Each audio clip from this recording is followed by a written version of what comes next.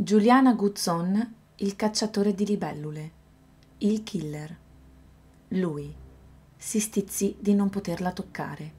Fiutava l'aria come un cane famelico in cerca dell'odore di lei.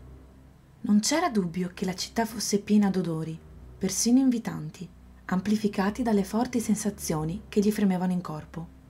Si perse con lo sguardo su un neo posato sulla sua spalla, come se fosse un minuscolo insetto Percorse il profilo dei fianchi, il congiungersi delle gambe, poi chiuse lentamente gli occhi per ricomporre la sua immagine, la prima.